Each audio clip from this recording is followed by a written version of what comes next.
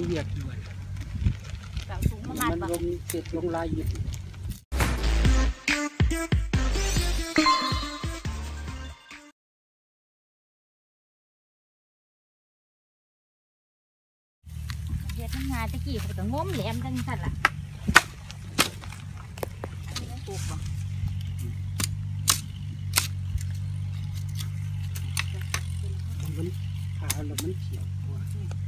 กี้เขาก็งมแหลมจังซั่นล่ะปลูกบ่มันขาแล้วมันเขียวกว่าถ้าก็แหลมพร้อมเนี่ยแหลมคือเลยนี่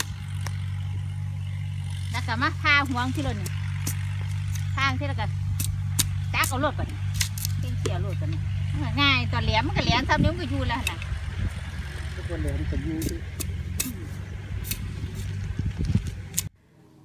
สวัสดีค่ะทุกคน มื้อนี้คำนางก็จะมาบอกวิธีการเฮ็ดทงปักหลักเข่า ง่ายๆนะคะ หลายคนอาจจะเคยเฮ็ดและหลายคนอาจจะยังบ่เคยบ่เคยเฮ็ดนะคะ และอาจจะเฮ็ดวิธีต่างกันนะคะมื้อนี้มีเทคนิคมาบอกง่ายๆนะคะ และสะดวกสบายง่ายมาก ๆนะคะ ขั้นตอนก็คือว่านะคะเฮาไปตัดไม้ไผ่มาเสร็จแล้วแม่นบ่คะเฮาก็เทศเป็นท่อนความยาวเฮาก็เอาความยาวเฮาพอดีนะคะ จากนั้นเฮาก็พาผ้าเครื่องของไม้ไผ่นะคะ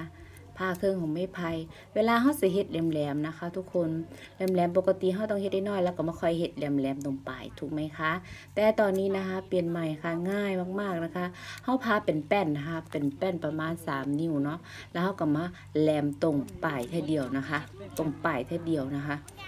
ตรงปลายเท่เดียวปุ๊บปุ๊บจากนั้นแล้วเขากะมาพาตรงกลางตรงกลางอีกฝั่งหนึ่งเพื่อเขาจะเอา อ่าธงมาปักมาเสียบนะคะ หรือว่ามาพันปลายนะคะ จากนั้นเขาก็มาพาลงพาเป็นเตาะจักเป็น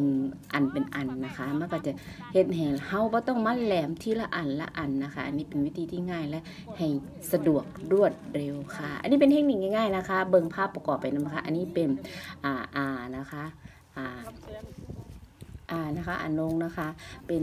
ภรรยาน้องของพ่อนะคะ แล้วก็มาบอกวิธีการเฮ็ดง่ายๆบ่ต้องยุ่งยากนะคะบ่ต้องไปงม